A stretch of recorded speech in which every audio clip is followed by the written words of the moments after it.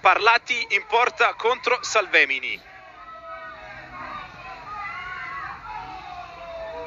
Dagli 11 metri Salvemini per il pareggio del Giuliano.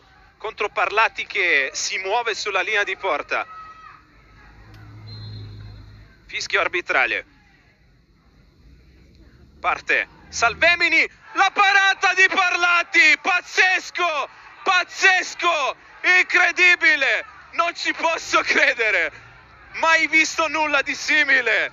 Parlati, para il rigore a Salvemini. Assurdo, assurdo.